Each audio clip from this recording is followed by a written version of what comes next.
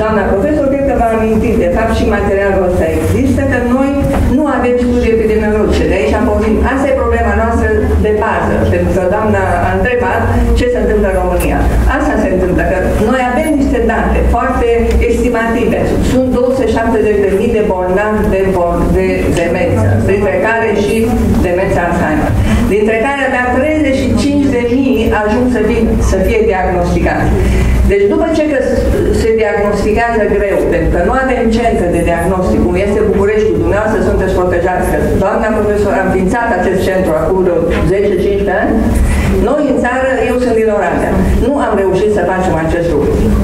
Pentru că ne trebuie suport financiar și ne trebuie o legislație. Nu suntem cuprinși în această legislație. Legislația în România a apărut, legea sănătății mentale încă din 96.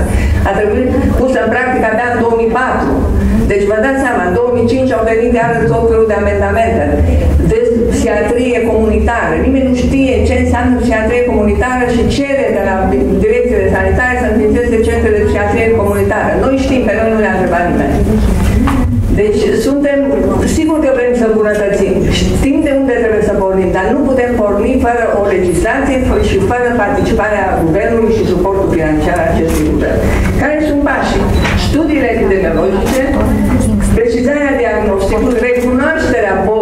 Importanței ei și, sigur, ca să poată să fie, să fie uh, noi avem nevoie de cadre specializate. Noi am început.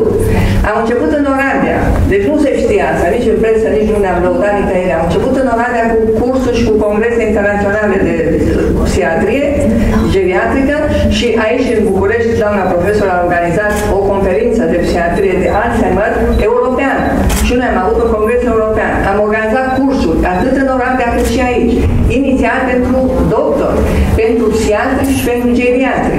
Pe urmă am organizat cursuri pentru cadrele medii.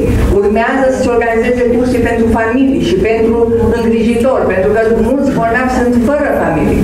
Deci au nevoie de persoane calificate. Aici noi suntem destul de slabi. Degeaba fac eu în Oradea și doamna profesor în București și cu asta am terminat.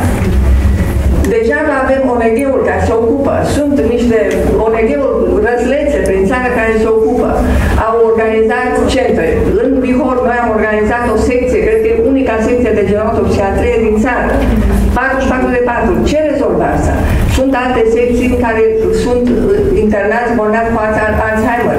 Nu-i poți interna pe veci, pentru că ăla nu ca un burete. Internet de acolo aștept să moară celălalt ca să poți interna. Deci aici apelăm la guvern și să, la Ministerul Sănătății să organizeze servicii specifice, speciale pentru îngrijirea acestor bolnavi.